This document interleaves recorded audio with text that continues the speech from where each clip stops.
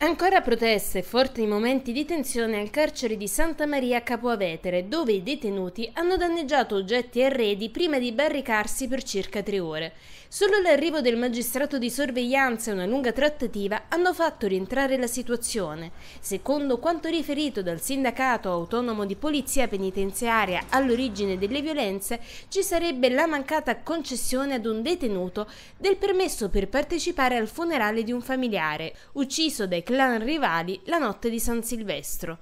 Presumibilmente si tratterebbe del 26enne colpito con un proiettile alla testa nel rione popolare ex IACP per motivi legati allo spaccio. Ricevuta la richiesta, il magistrato avrebbe chiesto tempo per valutarla, risposta che però non ha soddisfatto il detenuto.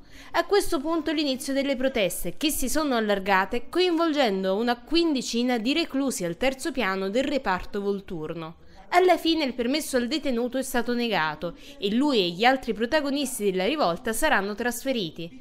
Questo è il commento di Ciro Auricchio, segretario regionale dell'USP. È da tempo che chiediamo un incremento organico per il carcere di Santa Maria Capovetere. Mancano 70 agenti dalla pianta organica, nonché ci sono problemi di sovraffollamento e problemi strutturali. Chiediamo inoltre l'intervento del COM, del gruppo operativo mobile, per supporto ai colleghi di Santa Maria. Solidarietà per i fatti accaduti.